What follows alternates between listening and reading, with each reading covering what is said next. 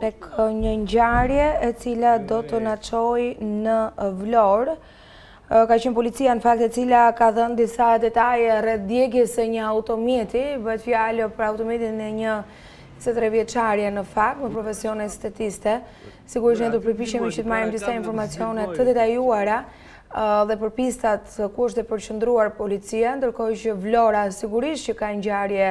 Herë pas here, për sa i përket pra tritolit, djegies së qëllimshme të automjeteve dhe janë ngjarje të cilat për hir të vërtetës nuk është se janë zbardhur. Por çfarë ka ndodhur në rastin konkret Armand Xhelili ka detajet Armand? Po përshëndetje Aida në fakt sikur se thatë dhe ju rreth orës një pa një çerek të mëngjesit pak pas mesnatës të mbrëmjes së djeshme një automjet tip Audi A dyshi në pronësi të shtetases me inicialet EH Ernela Habilaj është djegur thuajse totalisht. Ajo çka bën me dije burime nga grupi hetimor dhe nga policia e Vlorës bën me dije se Audi ose automjeti në pronësi të tridhjetë e dy vjeçares pasi ndoshta nuk korrespodon mosha edhe nga policia por ajo çka unë kam pyetur edhe nga vendi i ngjarjes ose nga terreni bën me dije se tridhjetë e dy vjeçarja është nënë e një fëmije rreth moshës dymbëdhjetë vjeç automjeti i cili është shkrumbuar thuajse totalisht policia është duke hetuar në disa pista disa kohë më parë tridhjetë e dy vjeçares ose më saktë familjes babait banesës së babait të tridhjetë e dy vjeçares i është vendosur një sasi plasëse tritol e cila ishte e pashpërthyer me fitil gati në të shpërthyer, por që ishte e pashpërthyer ndoshta për të dhënë një paralajmërim apo për të për ta trembur të. Ndërkohë që mbrëmjen e djeshme është djegur automjeti i vajzës së tij, pra i Ernela Habilaj, e cila me profesion parukiere estetiste në një në lagjen 24 maj në qytetin e Vlorës. Por pista tjetër çka dyshohet bën me dije se uh, bashkëshorti i 32 vjeçares vuan dënimin në një burg të Italisë për trafik të drogave të forta. Gjithsesi janë këto dy pista në të cilat është një konflikt familjar apo apo ndonjë motiv banal i 32 vjeçares. Gjithsesi, grupi hetimor tregohet i rezervuar për sa i përket hetimeve, është një ngjarje që ka ndodhur vetëm disa orë më parë ose rreth 12 orë më parë dhe që policia vijon të ketë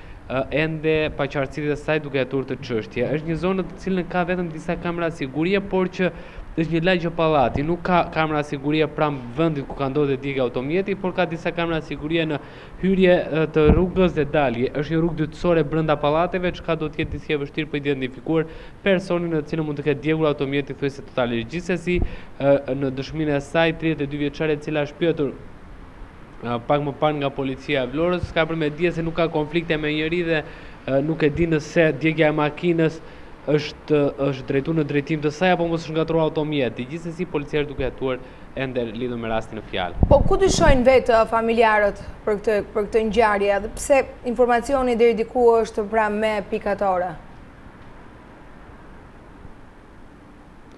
A, në fakt familjarët nuk kanë ndonjë pistë ose nuk mund t'i vënë gishtin asnjë personi se ku ka ndodhur. A është sikurse edhe më herët sikurse raportova Babait të të